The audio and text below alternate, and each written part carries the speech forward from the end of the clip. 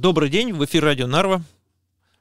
У нас в гостях Михаил Стальнухин. Как обычно. Добрый день. Здравствуйте. Михаил, э, буквально на днях прошли внеочередные парламентские выборы в Нидерландах, где выборы выиграла правая, как пишут, популистская партия, чьи основные лозунги были связаны с миграционной политикой, с проблемой управления прозрачностью Европейского Союза, соотношение э, между Европой и Россией. И это уже, можно сказать, третья страна в Европейском Союзе, выборы, после которых может поменять свое направление. Вы не, вам не кажется, что это определенная тенденция? Я не говорю сейчас о Нидерландах, о людях там.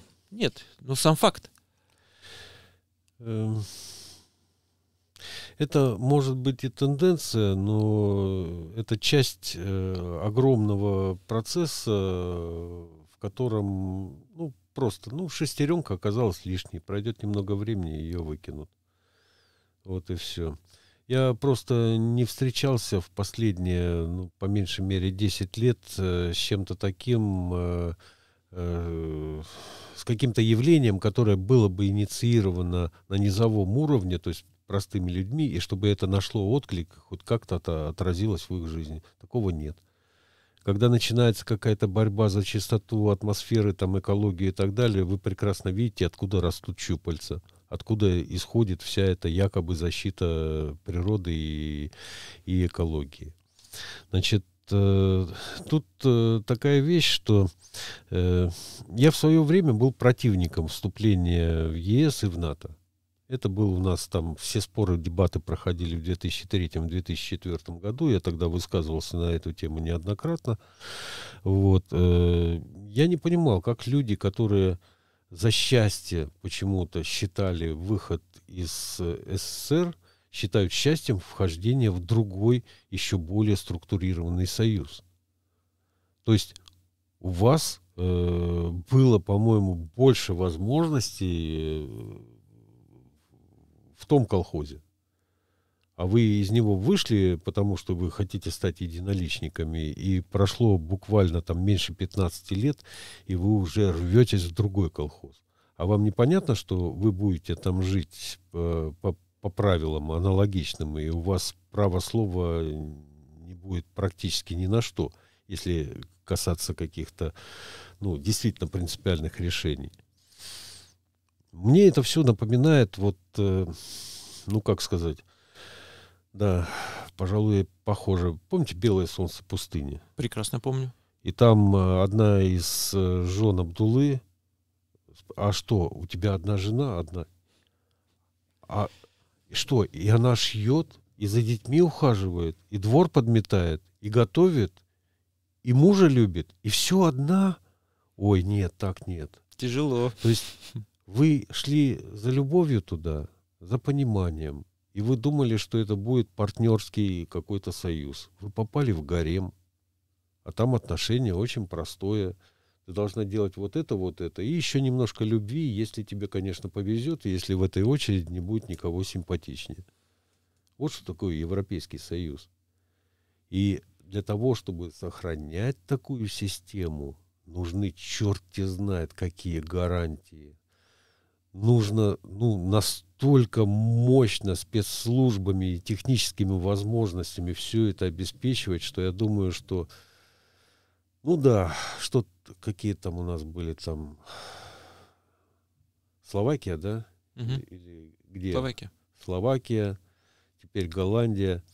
Я думаю, пройдет немножко Венгрия. времени, и им просто свернут шею. Вот и все. Э, я хочу вам напомнить, э, что в какое-то время, когда э, в Германии, ну, естественно, не при, не при этом канцлере, этот канцлер, ну, идеальный внук своего дедушки, один в один, ну, по мозгам, судя по всему.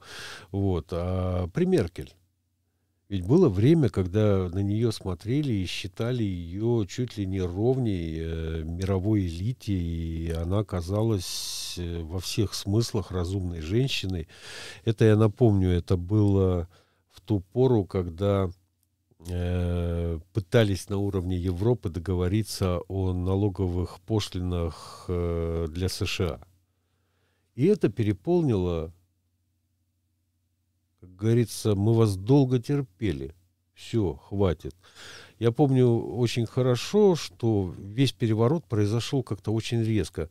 Сначала был скандал, с, связанный с Меркель, с тем, что ее прослушивают. То есть вдруг обнаружилось, что американского посольства э, наставлено всяких разных антенн и устройств, и Меркель, оказывается, прослушивает. После этого был визит Меркель в США, откуда она вернулась с другим человеком. Конспирологи э, могут даже предполагать, а не произошло ли подмены? Может, ее просто на другого человека поменяли, и она где-нибудь сейчас на Кубе в каком-нибудь Гуантанамо сидит в клетке? Потому что это был другой человек совершенно другой, совершенно другой мотивацией. Это, ну, это же видно, это же понятно. И куда-то ушла вот эта вот мудрая матушка Меркель, и пришла баба Яга, которая, во-первых, она против, во-вторых, и пофиг абсолютно, и не осталось никаких принципов.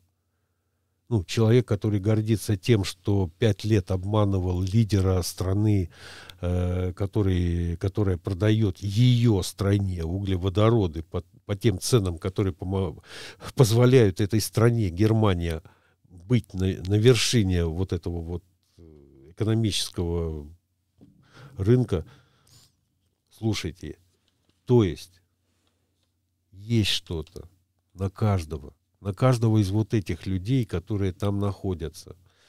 И проблема Голландии решится очень просто. У них, я, насколько помню, 35 из 150 мандатов, да? Угу. Ну так оставшихся 115.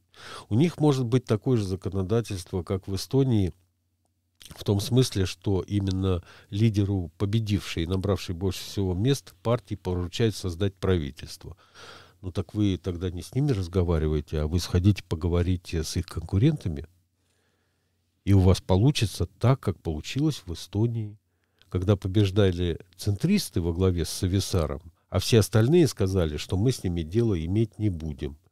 И в результате Сависар сам сходил к президенту и отказался вот от этого. Ну, то есть он со всеми поговорил, коллегами, со всеми этими калосами там, э, э, и, и, и прочими.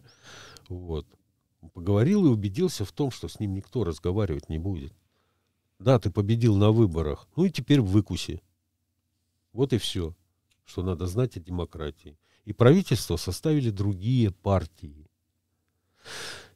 Вот посмотрим, как получится в Голландии. Посмотрим, как получится в Польше. Побеждают одни, правят другие. Это, это довольно реальная ситуация. Ну, для нас это принципе, в общем-то, такая каждодневная. Вот. Плюс к этому, ну, некоторые вещи, э, которые э, на уровне нашей страны или колхозов, к которому мы теперь приписаны, вот, происходят, да, они происходят немотивированно. То есть это таким образом, как будто вот э, вдруг э, э, кто-то заходит э, и сообщает решение, до которого вы не додумались в силу его тупости, но, но кто-то решил, что это можно превратить в команду. То есть любое дурацкое решение можно сделать мудрым, если из него сделать команду. Вот с командой, что вот надо вот так вот поступать, и вперед. Вот. И это происходит, опять-таки, довольно часто. Почему? Потому что если ты исполнительный, если ты готов разрушать свою экономику, э, проводить экологическую политику в ущерб своему собственному населению, да, то тебе очень много разрешат сделать такого, на что у других права нет. Например, тебе разрешат э, использовать 72 миллиарда из бюджета Европейского Союза для покупки э, какой-то медицинской хрени у фирмы, где работает твой супруг. И никто никогда никому не расскажет, сколько ты на этом заработал. Но те, кому надо, те знают, где у тебя лежат деньги. И ты с этого поводка больше никогда никуда не сорвешься. Потому что ты знаешь, что это деньги, они только формально твои. в случае необходимости их заберутся и скажут, сегодня я тобой недоволен. Помните голый король Евстигнеев? Я тебе вчера золотой дал, дал, отдай назад, я тобой недоволен. Вот примерно так вот выглядит вот эта схема взаимоотношений. И возвращаясь к Голландии, я не верю, что это даст какой-то результат. Я не верю.